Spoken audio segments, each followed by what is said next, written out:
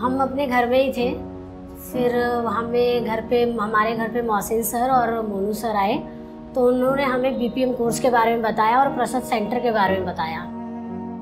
जब BPM course के बारे में सुना तो बहुत अच्छा लगा और लगा कि ये कोर्स करना चाहिए, इससे हमारी प्लेसमेंट होगी, जिस तरीके से घर में भी ज़रूरत थी जॉब की तो उस तरीके से उन लोगों ने हमें बताया। फिर हम यहाँ पर आए।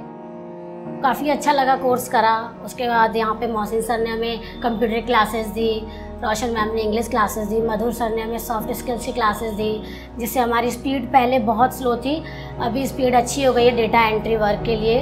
तो बहुत अच्छा रहा और अब मेरे को एक महीना जॉब करते हुए हो गया। वीकेंड का प्रोसेस है मेरा डब्ल्यू कॉम उसमें अभी नई नई ज्वाइनिंग है मेरी।